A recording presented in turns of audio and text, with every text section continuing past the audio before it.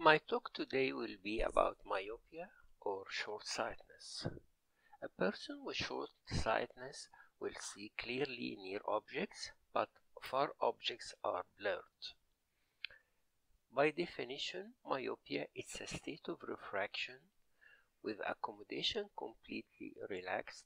Parallel ray coming from an object very far will come to a focus in front of the retina. After focusing here, the rays will continue to reach to the retina. So each point in the object will appear here as a point, but on reaching the retina, a single point will be larger, it will be diffuse, so less illuminated, it will be blurred. As a result, the person will see a blurred image. To understand this, let's see this configuration. Here we have a slide projector that is focused at this level. So if you put a screen here, everything will be clear. If you remove the screen and we have another screen here, the image here will be blurred. This is shown in this video. This is the first screen with clear image. On removal, this is the back screen and the image is blurred. So this is what happened in the patient's eye. This is if it was a retina at the level in the vitreous and this is the actual location of the retina. Etiology can be due to axial, refractive, or anterior dislocation of the lens. The emmetropic eye has an axial length of 24 millimeters and a power of plus 60. This is suitable to get the image into the retina. But if the eye is longer with the same 60, the focus here will be in the vitreous cavity in front of the retina. This is known as axial myopia. Every 1 millimeter change in the axial length will result in 3 diopters error. The second is the refractive power, increase of the refraction. So instead of having an optical system of 60, if it's 61, the focus will be inside the vitreous cavity. This is a plus 1 lens, focus is at 1 meter, plus 2 focus is 50 centimeter, plus 3 focus is 33 and so on. So the higher the power of the lens the closer the focus to the optical lens. So this is the emmetropic eye with the power 60 if the power increased to 61 the focus will be in front of the retina. Refraction can be changed due to increase in curvature or change in the refractive index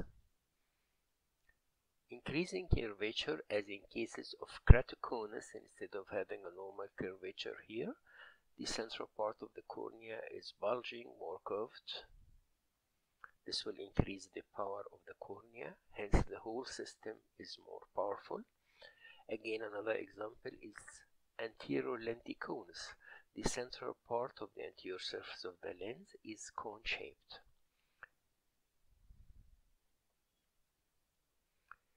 Uncontrolled diabetes will result in myopia. Explanation Normally, the lens has a power of plus 18. The nucleus is plus 24. The cortex in front and the cortex behind each is minus 3. So the total power of the whole is plus 18. If you have uncontrolled diabetes, patient will suffer of hyperglycemia so there will be more glucose in the aqueous. Glucose in the aqueous will find its way to get into the cortex and it's going to take water with it. So there will be hydration of the cortex. Hydration of the cortex will result in decrease of the refractive index of the cortex.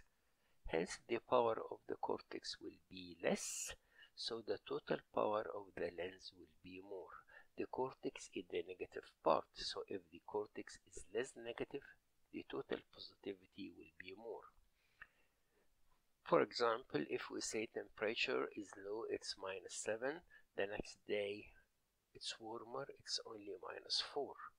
So this is less cooling. The same here. If the cortex can instead of being minus 3, it turned to be minus 2 only, then the total power of the lens will be higher.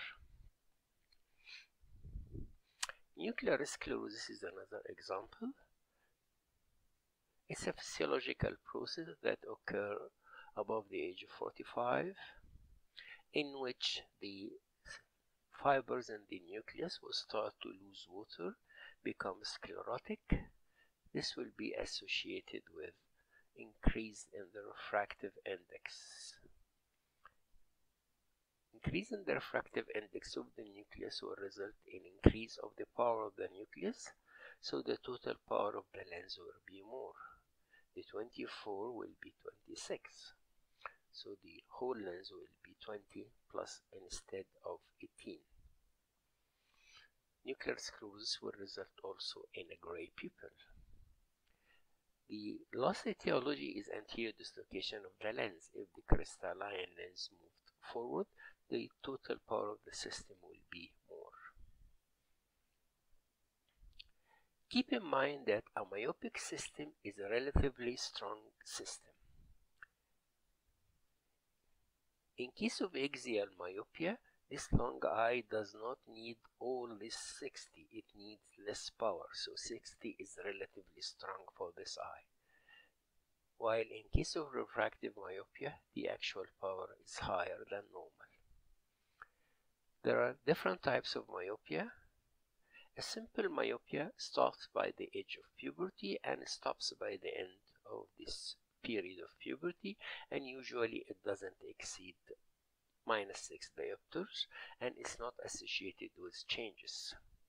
On the other hand, degenerative myopia or progressive myopia or malignant myopia starts early and it goes on for the rest of life reaching higher and higher degrees and is associated with changes malignant changes or degenerative changes. This is the correct word. A last and final type is congenital myopia. Normally children are hypermetrope and gradually hypermetropia decreases and by the age of 6 they become emmetrope. In congenital myopia the eye is myope as the very early stages of life. What are the degenerative changes? Myopia is a degenerative condition in which the sclera is weak, so the eye gets larger and myopia appears. It's an axial myopia. This can be associated with such changes like temporal crescent, annular crescent, posterior staphyloma, oh, this is the normal eye, while this eye get bulging of the posterior part here, the sclera lined by choroid and retina. So this is posterior staphyloma. It can be seen by B-scan and also it can be seen by stereoscopic indirect ophthalmoscopy where you can see one sector of the fundus deeper than the peripheral sector. This can be associated with patches of choroidal degeneration or choroidal atrophy. As you can see here, there is sclerosis of the choroidal vessels, choriocapillaris disappears and large choroidal vessels are seen. Another example, patches of choroidal degeneration, proliferation of phagocytes to engulf the dead cells. Another example, and another example of chorioretinal degenerations. Tessellated fundus or tigroid fundus is not a degeneration, it's just more pigmentation of the back surface of the eye. Fuchs spot. This is a disciform hemorrhage in the macular area. New vessels are formed under retina, causing such a problem of hemorrhage and later on scarring with marked affection of the central vision. Another example of problems is peripheral chorioretinal degenerations. Peripheral means very anterior. This is the ora serrata, this is the ciliary body, so changes occurs here, very anterior, very peripheral in the retina. It can take this form, we call it a lattice degeneration, can be patches of atrophy, and the problem if it is associated with holes, very thin, melting out of the retina. If this is associated with liquefaction of the vitreous, fluid can get through this hole and start a process of retinal detachment. Another thing,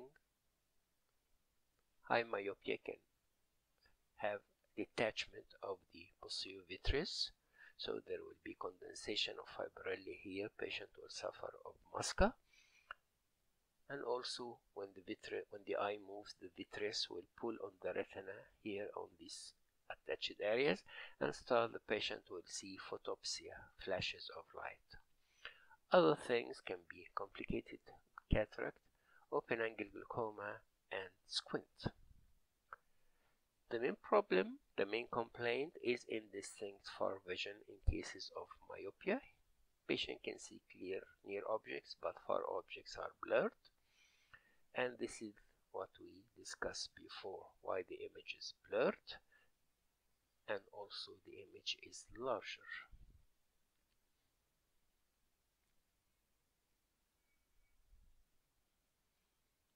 Now, far point and near point. In case of emmetropia, if we start from the retina, rays will come out parallel to meet at infinity. So the far point is infinity. The far point is the conjugate point with the retina when accommodation is relaxed. In case of myopia, being a stronger system, the rays will come out convergent, so they will meet here at a point nearer their infinity. So the near point here is closer than infinity. The more the myopia, the closer the near point. So the definition of far point of punctum remotum, it is the conjugate point with the retina when accommodation is relaxed. Now we come to the optical correction of myopia. Object very far, parallel rays will focus in front of the retina. So we need to put a minus lens to diverge these rays so the rays will come to a focus on the retina. The more the myopia, the more the power we need to put in this lens. Where is the focus of this lens? These divergent rays, if we expand them posteriorly, this is the focus of this lens. This is the same eye. If we start from the retina with no correction here, then the rays will come here to the far point of this patient. If you compare the yellow lines in the lower part with the blue lines in the upper part, you will notice that the correcting lens has a focal length coinciding with the far point of the patient. This is a principle for correction of all errors of refraction. We need to use a lens that has a focal length coinciding with the far point of the patient.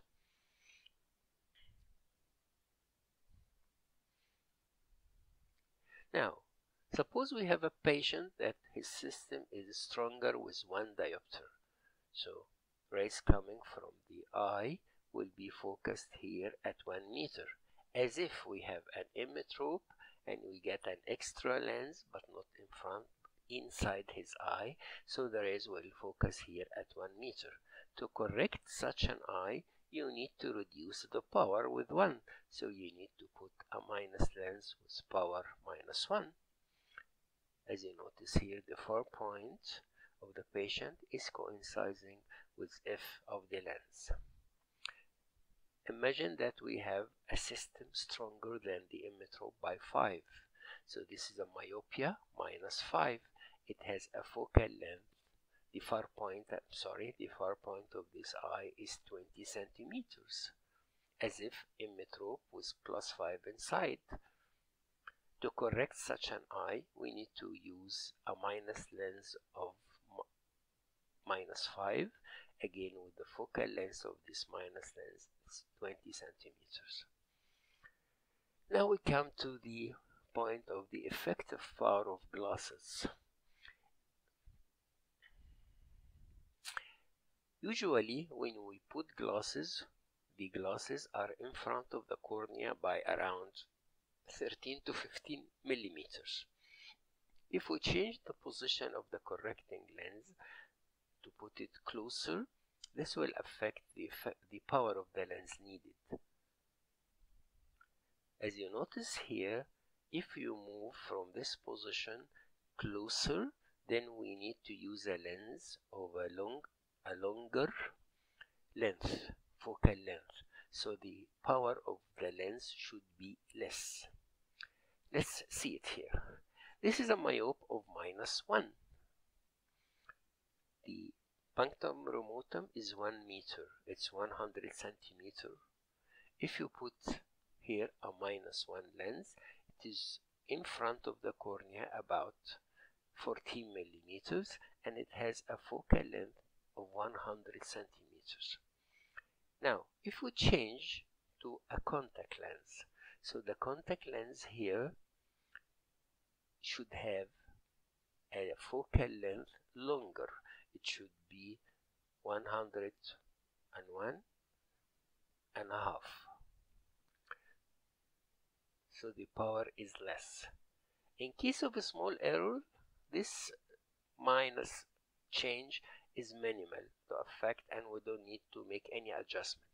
But see this example of a high myopia minus 10. Minus 10 you get you need to use a lens of a power minus 10.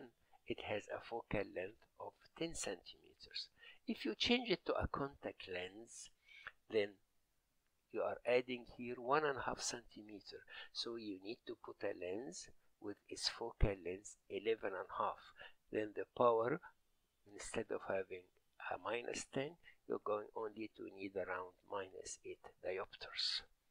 That's why in high errors you need to make in mind the effect of this distance while in cases of a small error it doesn't make much difference in applying contact lenses up to minus 4 diopters we are using the same power but higher than minus 4 then we depend on tables to see the effect of the distance. This is known as the back distance power. The back vertex power. Clinically myope will complain of indistinct far vision eye strain because of the latent squint complications like Fuchs spot retinal detachment, cataract, and squint.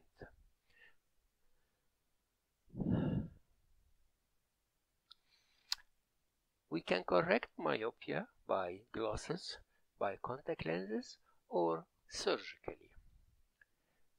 In LASIK, we change the shape of the cornea to make it flatter or we can put intracorneal rings to push the cornea to the outside making the curvature of the central part flatter. Or we can put IOL attach it to the iris either in front of the iris or behind the iris so this is something like a contact lens, but we put it inside the eye. Thank you for your attention.